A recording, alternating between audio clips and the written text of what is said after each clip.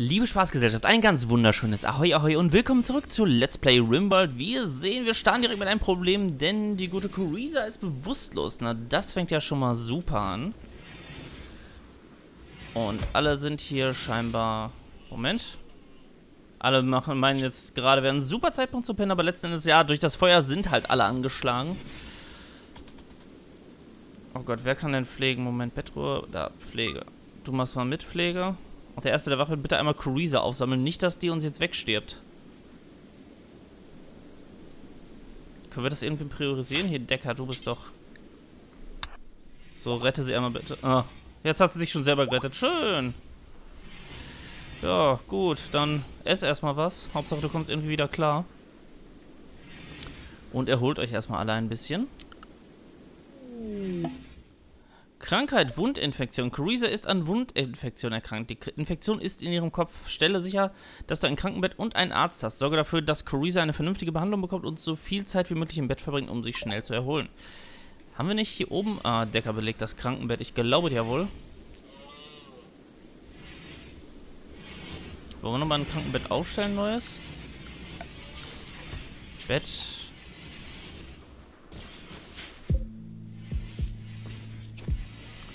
Wir brauchen nämlich dringend ein zweites Krankenbett, mindestens. Eigentlich noch ein drittes am besten. So, er pflegt sie erstmal, das ist schon mal gut. Störung, Batterie. Eine Maschine hat eine Störung. Sie kann nicht mehr verwendet werden, bis ein Kolonist, der als Bauarbeiter eingeteilt ist, vorbeikommt und sie repariert. Okay, die ist leider kaputt. Wie viel Mampfer würde... Oh Gott, das ist auch nicht mehr so wirklich viel. Was? Ach, Aaron hat jetzt auch noch eine Wundinfektion. Ganz großes Tennis. Wenig Nahrung haben wir auch noch, Medizin auch, toll.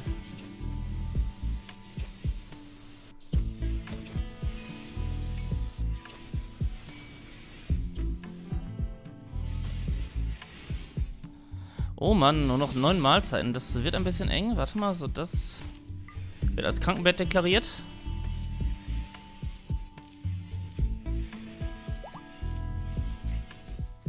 Decker Schiffbrückjäger hat sich vollständig erholt, Gott sei Dank. Und nachdem wir einiges abgefackelt haben, unsere halbe Ernte nämlich so gefühlt, sind jetzt wieder einige Kartoffeln da. Das finde ich sehr gut. Da kann Decker nämlich endlich wieder weiter Mahlzeiten kochen. Damit auch hier keiner vom Fleisch fällt. So, das geben wir mal eben frei. Rettungskapsel. Du hast den Abschluss einer Rettungskapsel registriert, ja dann. Moment, da schicken wir doch mal eben Decker hin. Retten wir sie mal eben. Dann was haben wir hier drin? Jede Menge Schiefer und Granitbrocken. Da würde ich sagen, mache ich doch mal hier als Aufgabe äh, Schieferblöcke.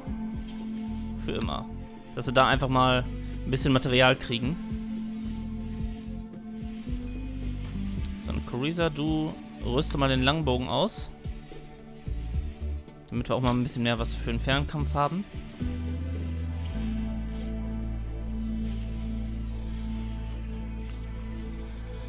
So, mampftechnisch haben wir jetzt wieder ein bisschen was auf Vorrat. Das ist gut. Warum kochst du nicht? Hm, okay, jetzt machst du erstmal Bubu. Das ist okay. Das soll ja auch so sein.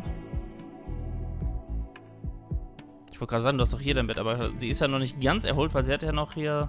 Sieht man das da irgendwo?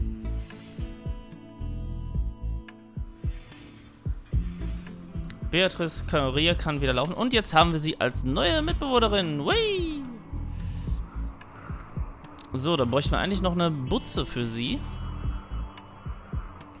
Aber erstmal erholt sie sich hier ein bisschen. Was ja auch wiederum vollkommen richtig ist. Schwere Krankheit. Was? Kurz davor in ihrer schweren Krankheit zu sterben. Ah! Moment. Da müssen wir jetzt mal äh, selbstständig tätig werden. Schlaf bis vollständig geheilt machen wir jetzt erstmal. Und du pflegst dann mal. So, einmal priorisiere, dass du sie behandelst. Wir haben aber sehr wenig Medizinzeugs, nämlich gar keins mehr. Toll. Da schauen wir doch mal, haben wir irgendwo... Warum wird, warum wird die Kräutermedizin denn nicht eingesammelt? Verdammt noch mal. Und hier, warum wird das nicht eingesammelt? Was stimmt denn nicht mit euch? Haben wir etwa keinen Platz mehr? Ich meine, hier ist doch noch genug da.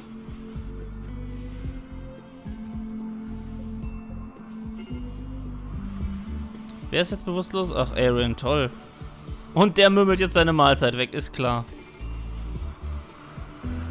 Ach, Aaron ist jetzt auch noch krank, toll.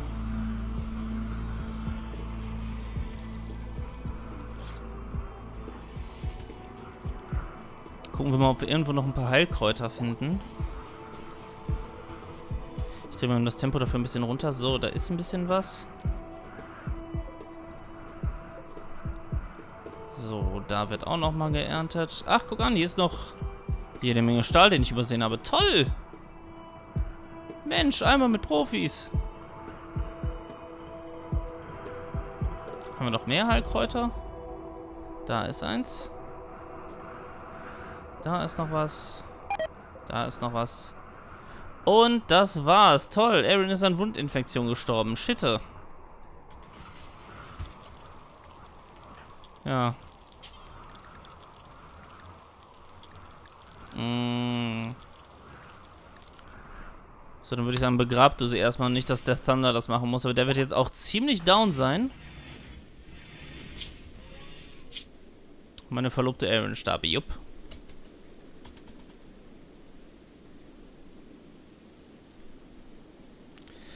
Tja, ihr Lieben. Jetzt haben wir unseren ersten Kolonisten hier verloren. Das ist Mist. Tja. Was willst du machen, ne? Ich habe keine Bauteile? Da liegt doch ein Bauteil. Oh, ey, ich, ich check das immer noch nicht so ganz mit dem Lager. Ich meine, hier darf ja theoretisch alles rein. Oh, oh, unsere Katze. Oh, sie ist so süß. Aber so dumm, leider. Gut, äh, Moment.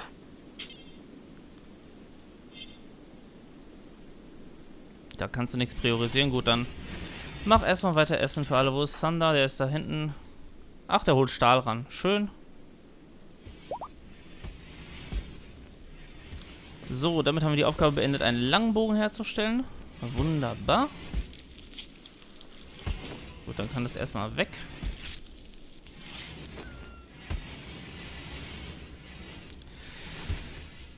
So, erstmal hier futtern.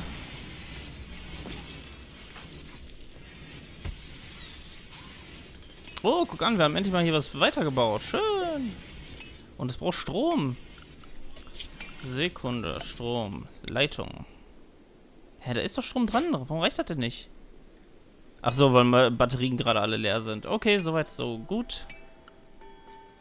Moment, wer war jetzt eigentlich unsere Forscherin? Sag jetzt nicht, unsere Forscherin ist... Ah, doch, unsere Forscherin ist verreckt. Schön, dann gilt es an uns, einen neuen Forscher auszuerkoren. Ähm, Moment, wo sehe ich es denn? Da. Charakter.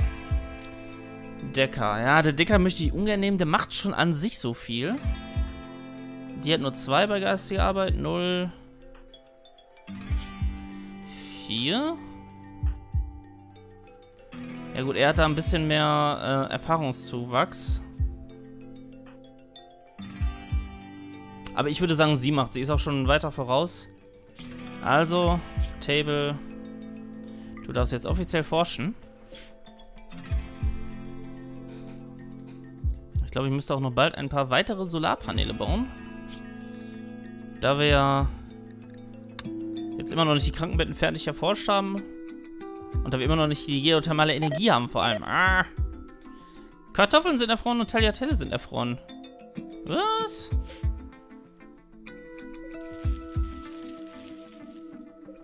Ach, hier oder... Oh, nein, warum erfriert uns hier alles?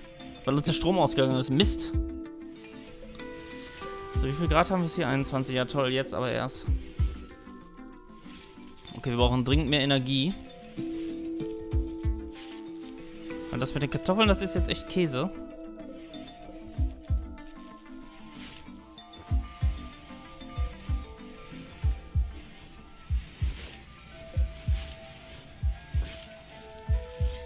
Ja gut, Table Schneider, das Ding erstmal fertig. Ich guck mal, ob wir uns schon leisten können mit Strom. Benötigt eine große freie Fläche vor und hinter ihm, um eine optimale Windströmung zu gewährleisten. Okay, dann müssten wir, glaube ich, wirklich mal alles abholzen. Und ich werde das jetzt einfach mal versuchen. Es fehlt uns dafür natürlich wieder Stahl. So, Befehle. Abbauen.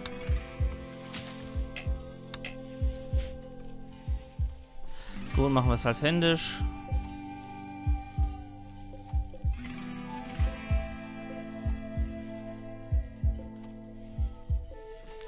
So. Leute, jetzt bringt gefälligst schnell die Ernte rein. Ja, genau, schlachte das Vieh mal.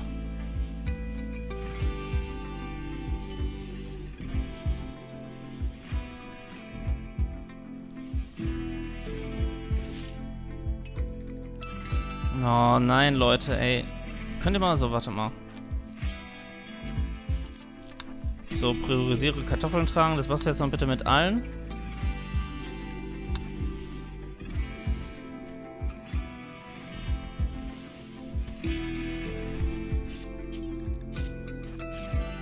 Die bringst du bitte auch rein. So, und du bringst bitte die rein. So, Beatrice hat sich vollständig erholt. Das ist schon mal gut. Dann zieh dir doch mal bitte das an. Also beide Sachen einmal, dass du vernünftige Klamotten hast.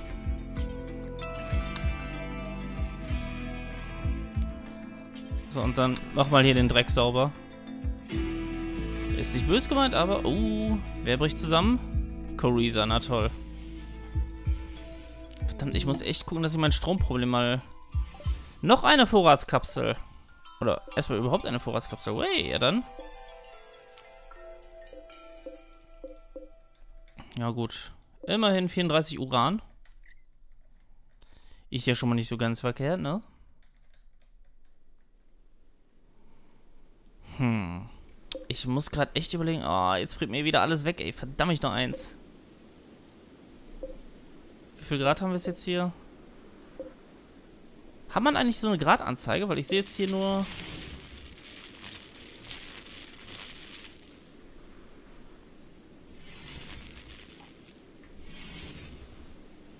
Okay, das automatische Geschütz läuft.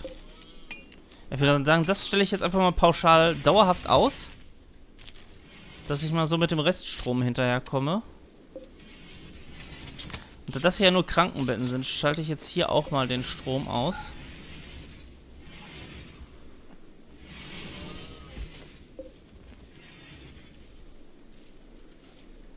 Tja. Hypothermie, was? Oh nein. Was auch immer das heißt.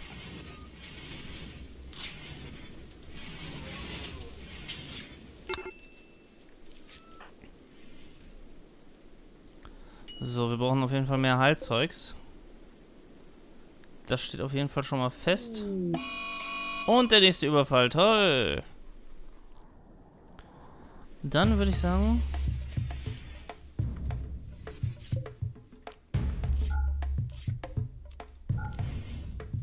mal hier die Lämpchen aus. Und die Heizung. Wir brauchen nämlich den Strom. Boah, ich habe echt gerade ein verdammtes Stromproblem.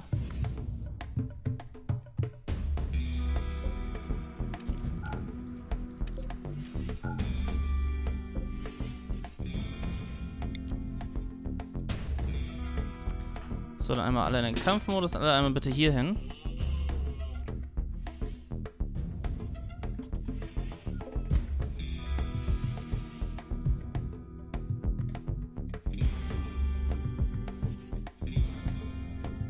Oh, warum dauert das jetzt so lange?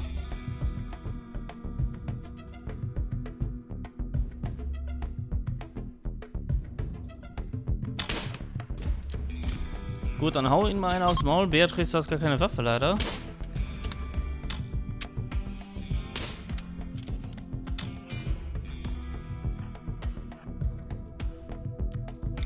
Dann greifen wir bitte ihn hier an.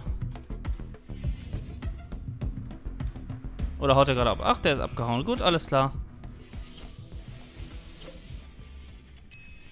Moment, ach, der ist tot. Okay, alles klar. Dann würde ich sagen, ziehen wir ihn erstmal aus.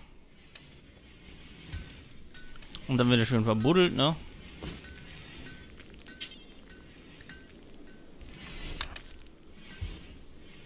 So, jetzt sollte ich aber doch mal hier wieder den Strom einschalten. Oh, ich habe keinen mehr. Schön. Alter, ich habe gerade echt so ein verdammtes Stromproblem. Okay, du bleibst definitiv aus.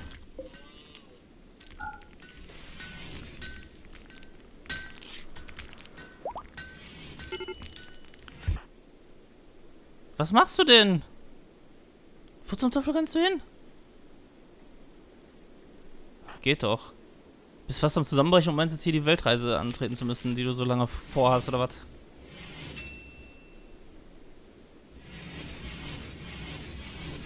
Ja, das war's doch schon mit meiner Nahrung und irgendwie hat, fühlt sich keiner genötigt, hier mal Holz nachzulegen.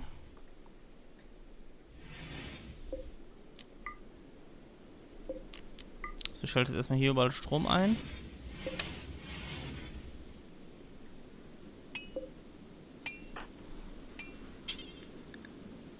Äh, so, Fülle auf. Das machen wir bitte als erstes.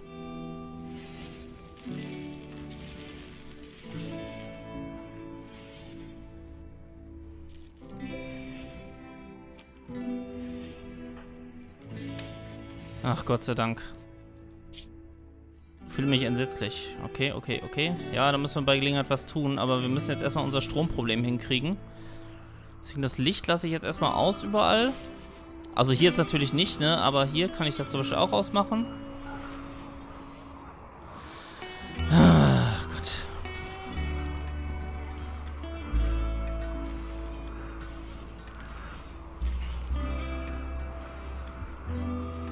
So, Decker, wann denkst du mal, gedenkst du mal wieder aufzustehen?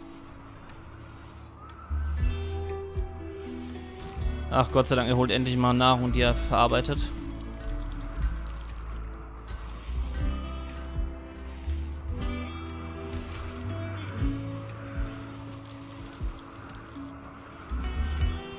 Sehr schön, jetzt macht er auch mal ein bisschen mehr. Wunderbar. Moment, habe ich doch gerade genau da. Da ist noch was. Ein Heilkraut da auch. Aber das, die Befehle habe ich ja schon längst alle gegeben. Ich komme nur gerade scheinbar mit den Befehlen nicht hinterher. Moment, ich muss ja gucken. Gibt es irgendeine Arbeit, die nicht gemacht wird? Sie ist die einzige, die forscht. Okay.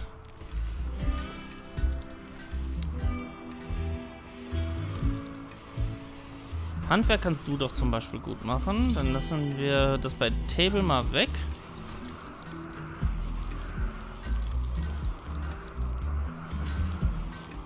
Hm, ist das nicht Handwerk, was sie da macht, oder ist das Bergbau?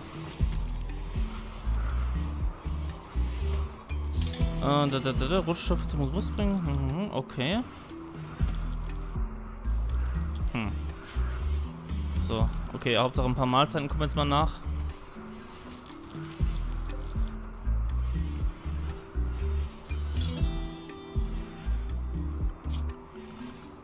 Was haben wir denn noch? Befeuerter Generator. Ich würde fast sagen, dass wir den übergangsweise erstmal bauen, dass wir irgendwie mal hinterherkommen mit unserer Stromversorgung, weil das geht ja so gar nicht. Müssen wir irgendwie unsere Batterien wieder ein bisschen voll kriegen.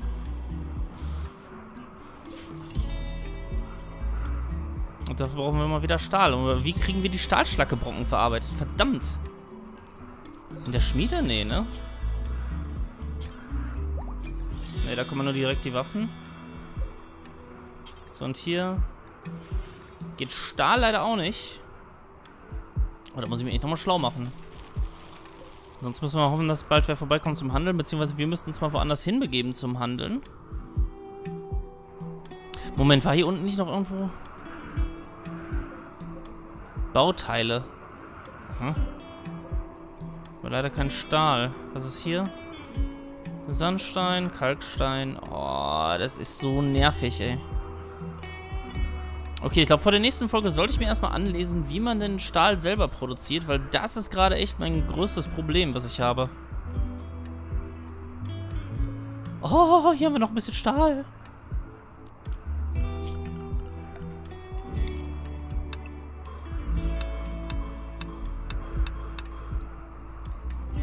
So, Moment. Ah, oh, verrücktes Tier. Der Teufel ist ein Eichhörnchen. Ach, jetzt hat es dich direkt erwischt, oder was? So, sehr schön.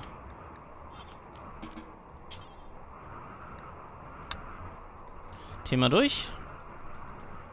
So, jetzt gucken wir nochmal schnell, wer hat Bergbau? Bergbau, Bergbau, da. Okay, dann würde ich sagen, Coriza, du als Architekt. Ach, ihr seid hier schon beim Bergbau, schön. Ist zwar nicht der, den ich eigentlich haben will, aber nehmen wir natürlich auch gerne mit. Was? Händler exotischer Waren. Hm. So, dann schauen wir doch mal, wer bei Sozial die meisten Punkte hat. Da habe ich nämlich den Tipp bekommen, dass man damit bessere Preise erzielt. Zwei, eins. Moment, was? Hier? Coriza? Hattest du nicht gerade... Oh, sieben, sehr schön. Dann handle doch mal schnell mit dem, bitte.